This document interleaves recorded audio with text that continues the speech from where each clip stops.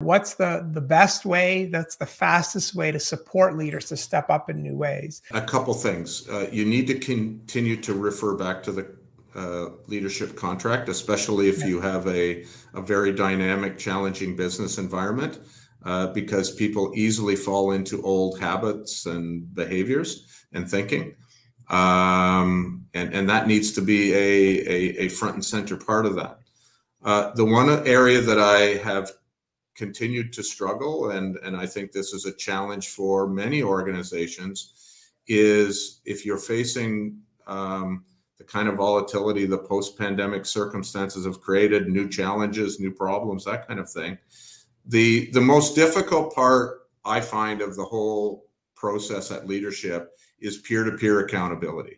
Right. So if if if people are are feeling stuck, the first thing they look to is is okay if it's a if it's a uh, if it's a cross-functional challenge or the solution needs to be implemented cross-functionally the challenge is that if the two leaders in that area don't really wrestle with their own perspectives on the problem or the challenge and work through it to create the end result they're both looking at me to solve it for them uh, or because okay well the other guy's the problem i'm not the problem i'm accountable right. but this person's not doing their job so what right. are you going to do about that right that dynamic and and the the construct of the hierarchical organization that we inherited centuries ago from the military mm-hmm. doesn't work in that environment but what yeah. makes it work is the is the capacity for individual accountability to move to